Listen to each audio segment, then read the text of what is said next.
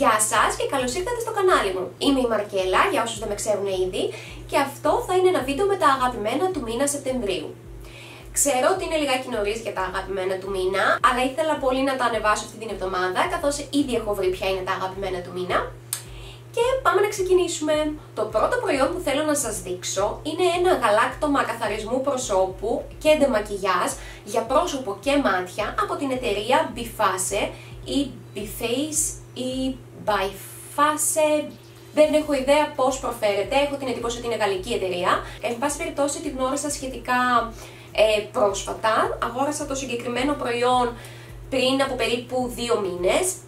Ε, κόστιζε γύρω στα 4 με 5 ευρώ, το πήρα με έκπτωση οπότε δεν θυμάμαι την ακριβή τιμή του. Είναι πάρα πολύ οικονομικό για το μέγεθος που έχει γιατί είναι 500 ml προϊόντος. Μου αρέσει πάρα πολύ γιατί έχει αυτή την αντλία πάνω και παίρνετε ακριβώς όση ποσότητα χρειάζεται για να κάνετε το καθημερινό σας ντεμακιγιάζ και φυσικά τον καθαρισμό προσώπου. Είναι για όλους τους τύπους δέρματος, περιέχει βιταμίνη ε και προβιταμίνη β5. Είναι πάρα πολύ απαλό στο δέρμα, αφαιρεί αποτελεσματικά το μακιγιάζ και το καθαρίζει σε βάθος. Και έχω μείνει πάρα πολύ ικανοποιημένη από το συγκεκριμένο. Το χρησιμοποιώ καθημερινά, εδώ και πάνω από ένα μήνα. Και φυσικά έχει ακόμα πάρα πολύ προϊόν μέσα, είμαι σίγουρη ότι θα μου κρατήσει για πάρα πολύ καιρό.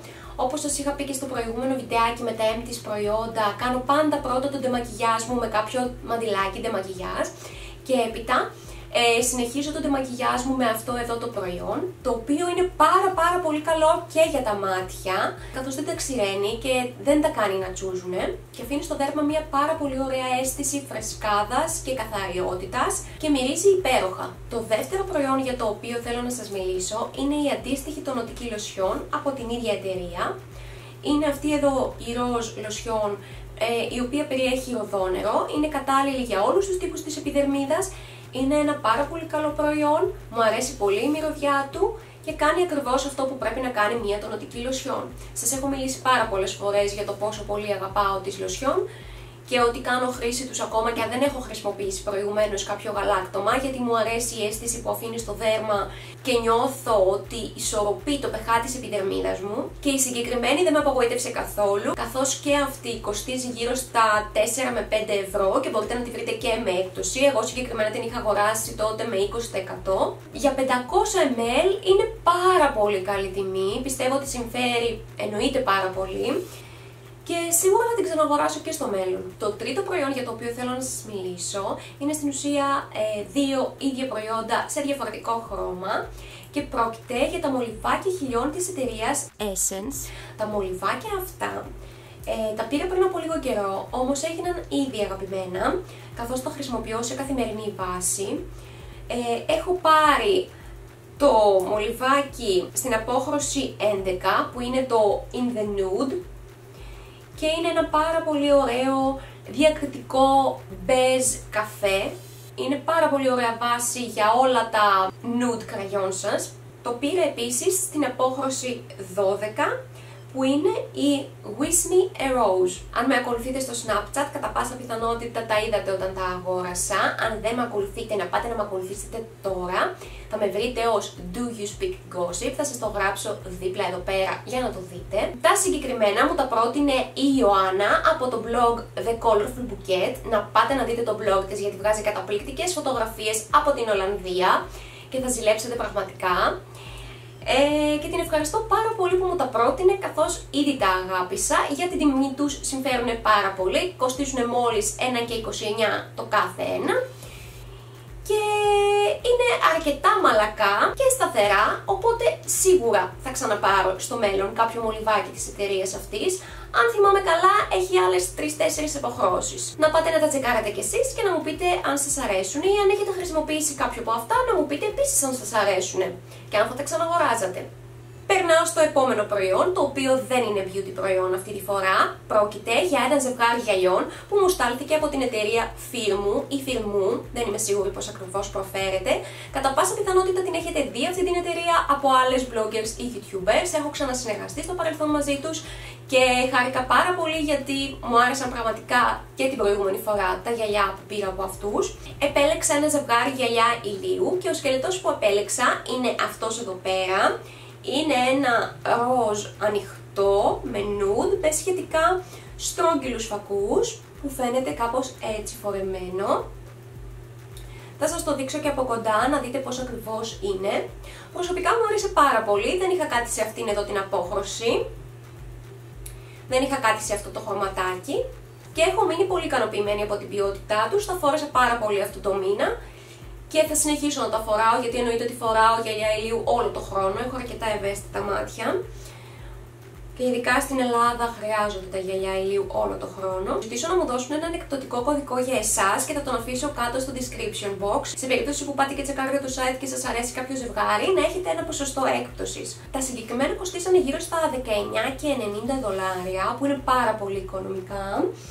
Αν δεν κάνω λάθος, συγκρίνοντά τα με τα προηγούμενα γυαλιά που είχα, με άλλα γυαλιά που έχω στη συλλογή μου, ε, έχουν polarized φακούς που είναι πολύ καλύτερα από τα κλασικά γυαλιά ηλίου και είναι πάρα πολύ καλά και για την οδήγηση. Σας τα προτείνω να πάτε να τσεκάρετε οπωσδήποτε το site τους και να δείτε τι άλλα γυαλιά έχουν και ίσως να αγοράσετε κι εσείς κάποια από αυτά. Προσωπικά έχω μείνει πάρα πολύ ικανοποιημένη από την εταιρεία και μου αρέσουν επίσης πάρα πάρα πολύ και οι θήκες μέσα στις οποίες έρχονται τα γυαλιά. Είναι η δεύτερη τέτοια θήκη που μου έχει σταλεί. Και επίσης έρχονται με μαντιλάκι καθαρισμού εννοείται και με μία μαλακή θήκη μέσα στην οποία μπορείτε να τα βάλετε, καθώς και με ένα μίνι κατσαβιδάκι σε περίπτωση που χαλαρώσει κάποια βίδα, να την βιδώσετε επί τόπου και χρησιμοποιείτε και σαν μπελοκάκι. Είναι πάρα πολύ χρήσιμο και πολύ καλή ευκαιρία. Και περνάω στο τελευταίο αγαπημένο του μήνα και δεν θα μπορούσε να είναι άλλο από μία καινούρια ξένη τηλεοπτική σειρά που ξεκίνησα. Η σειρά αυτή λέγεται Lost Girl και έπαιξε για 5 σεζόν.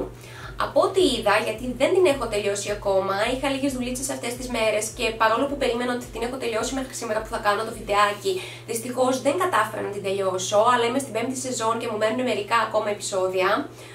Ε, από ό,τι κατάλαβα, η σειρά ακυρώθηκε στην ουσία, αλλά έχω διαβάσει ότι έχει κάνει κανονικά τέλος, οπότε ελπίζω να μην απογοητευτώ ούτε εγώ, ούτε να απογοητεύσω κάποιους από εσάς. Ε, εννοείται μέσα στις επόμενες μέρες εγώ θα τελειώσω τη σειρά, οπότε μείνετε συντονισμένοι στα social media και κατά πάσα πιθανότητα στο Snapchat, όπου θα σας πω αν η σειρά όντως έκανε κάποιο τέλος, αν τελείωσε δηλαδή ομαλά ή αν κόπηκε απότομα. Πραγματικά δεν υπάρχει χειρότερο πράγμα από το να βλέπεις μία σειρά και ξαφνικά να σου ανακοινώνουν ότι κόβεται και να μην έχει κάνει κάνει επίσημο τέλος. Όσοι βλέπετε ξένες τηλεοπτικές σειρές, είμαι σίγουρη ότι με καταλαβαίνετε. Πραγματικά έχω ξεκινήσει άπειρες σειρές που στην πορεία ακυρώθηκαν και δεν υπάρχει χειρότερο πράγμα, ειδικά όταν η σειρά είναι πάρα πολύ ωραία και την έχεις αγαπήσει. Δεν μου αρέσει καθόλου όταν το κάνουν, αλλά δυστυχώς συμβαίνει συχνά. Οπότε θα φροντίσω να σας ενημερώσω για το τέλος της στα social media, ώστε να μην την ξεκινήσετε και μετά με βρίζετε. Ε, μείνετε συντονισμένοι και θα σας πω πάρα πολύ σύντομα. Τώρα, όσον αφορά την πλοκή.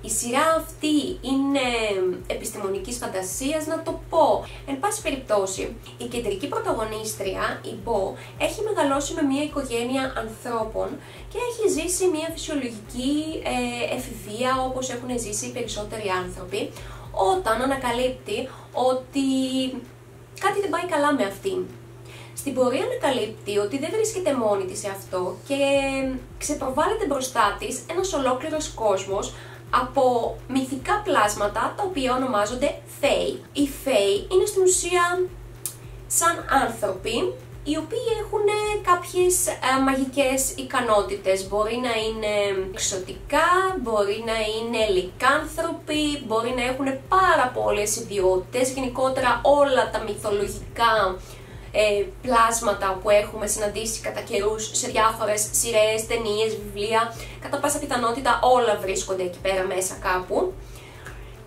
Και η Μπό λοιπόν ανακαλύπτει ότι η ίδια είναι Succubus. Succubus είναι τα πλάσματα τα οποία στην ουσία τρέφονται από την σεξουαλική ενέργεια των ανθρώπων που βρίσκονται γύρω τους. Μπορούν δηλαδή να ρουφήξουν την σεξουαλική τους ενέργεια και να τραφούν από αυτό. Στο πρώτο κιόλας επεισόδιο η Μπό συναντάει μία κοπέλα την οποία βοηθάει και η οποία είναι άνθρωπος και γίνεται η καλύτερη της φίλη και η βοηθός της σε όλο αυτό το ταξίδι στο οποίο ανακαλύπτει τον εαυτό της και παράλληλα γνωρίζει ε, άτομα τα οποία είναι σχεδόν ίδια με αυτήν.